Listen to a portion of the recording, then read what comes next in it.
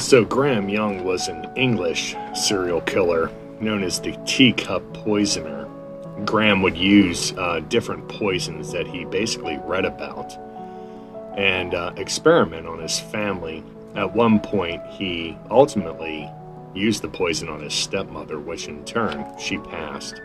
And Aunt became rather suspicious at the fact that uh, his fascination with poison and the death of his stepmom just didn't quite add up. So she informed the authorities. The authorities listened to what Graham had to say, and they actually had him institutionalized at Broadmoor.